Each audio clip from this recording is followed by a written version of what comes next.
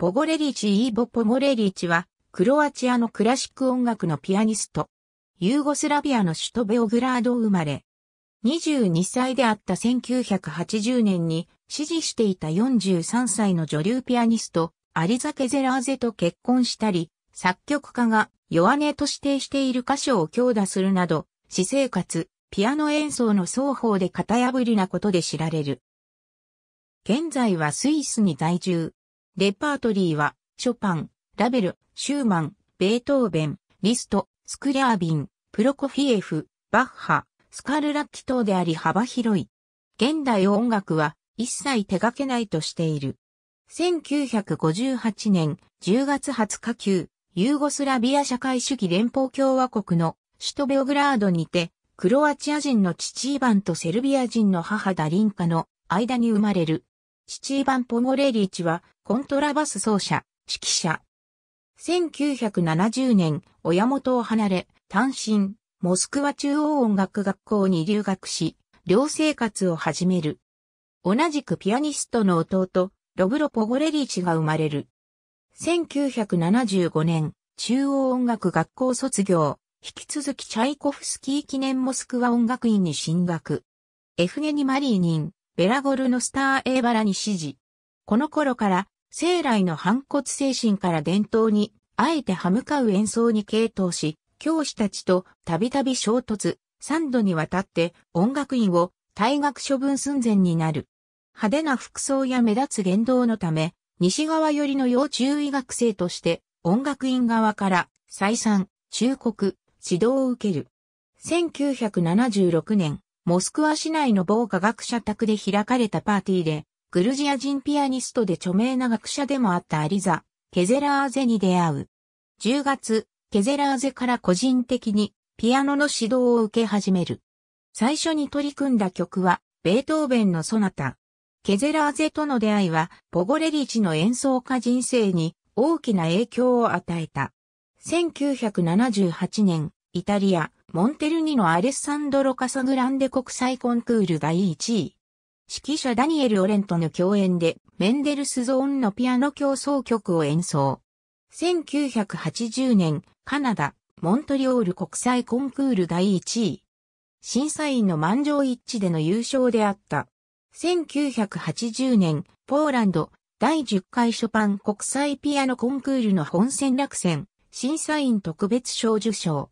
これまでのショパン解釈からは、到底考えられない彼の演奏は、奇抜すぎるとする他審査員に対し、審査員の一人、マルタ・アルゲリッチが、彼こそ天才よと言い、その場から立ち去り抗議。審査員を辞任する騒ぎとなった。また、パウル・バドゥラスコダをはじめとする他の数名の審査員は辞任はしなかったが、アルゲリッチに賛同の意見を述べた。なお、アルゲリッチがショパン国際ピアノコンクールの審査員に復帰したのは、この20年後、2000年である。この一連の出来事は、ポゴレリーチ事件と呼ばれるようになり、ショパン国際ピアノコンクールの歴史を語る上で避けられない出来事となった。また、コンクール期間中にもかかわらず、審査委員長のコルド氏、落選者のポゴ、事態を重く見た審査員たちは、急遽ポゴレリチに審査員特別賞を与えることを決定。入賞はしなかったものの、一気にスターダムにのし上がった。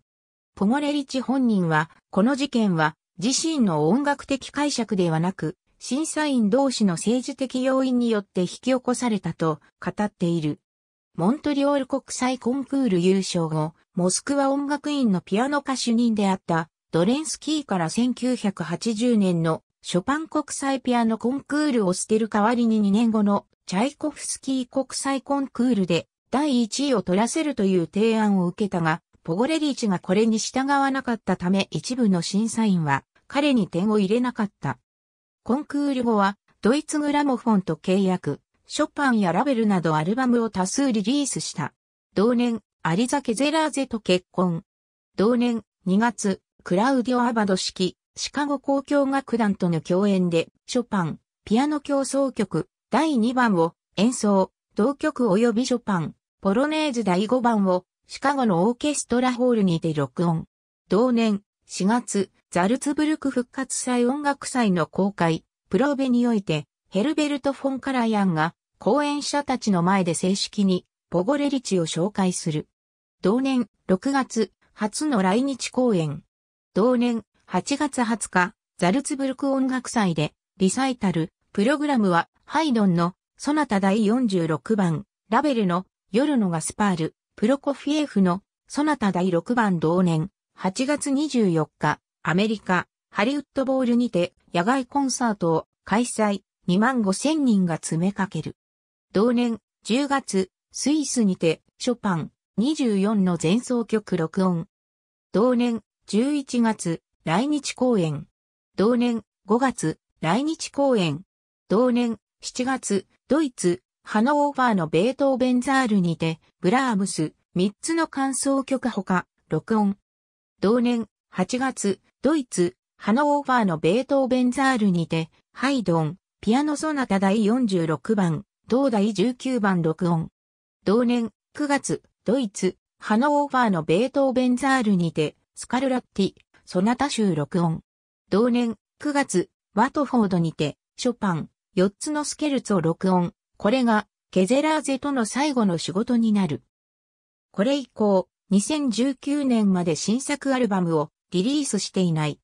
1996年2月16日、妻のアリザ・ケゼラーゼが肝癌により死去。そのショックを受け、多くのリサイタルがキャンセルになる。ヨーロッパ、極東、中国、台湾、日本を中心にコンサートを行っていた。2016年現在、頻繁に来日してコンサートを行っている。近年は12月に来日する傾向がある。同年、第1回マンハッタン国際音楽コンクールにて審査、委員長を務める。グランプリ及びポゴレリチ賞をエマニュエル・リモルディが受賞。2019年、21年ぶりに新作アルバムをリリース。同年11月に再来日。